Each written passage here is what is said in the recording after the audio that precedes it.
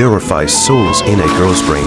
They are happy, sad, arrogant, angry, and cowardly. Each soul corresponds to a different emotion in a girl. With the birth of a girl, the first to appear is happiness. Mom and dad's first pampering activates the joy in the girl's brain. The girl's unexplained crying follows, and this is when sadness appears. As the girl slowly grows up, she starts to become mischievous. At the first sign of danger, fear appears. It struggles to keep the girl in control of her emotions, so that she doesn't get hurt. Dad hands over vegetables for the girl to eat. At this point, pride will stand up and fight back. It thinks the greens must taste bad, but when it hears daddy say, if you don't eat the vegetable, you don't get to eat the cake. Anger hears this and grabs the console and fires it up. And at that moment, the girl immediately overturns the plate and starts crying.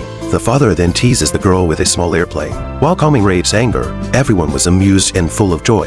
Each day, all five emotions create a flood of memories, sealed into a specific island when the girl goes to sleep.